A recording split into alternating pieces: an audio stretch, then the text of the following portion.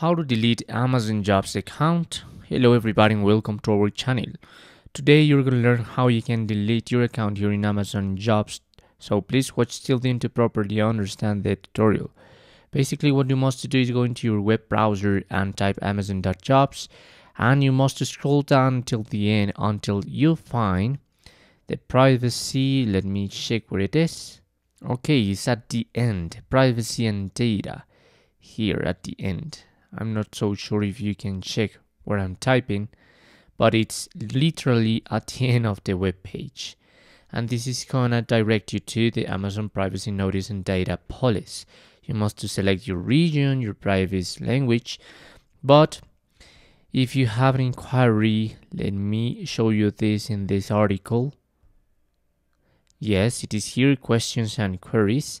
So you must write here into privacy at amazon.com. That's the email address you must to write in order to delete your account. So you just have to create a new email with this email address hr-dsr-privacy at amazon.com. Type in and letting them know that you want to delete your account because you are not gonna request their services and so on.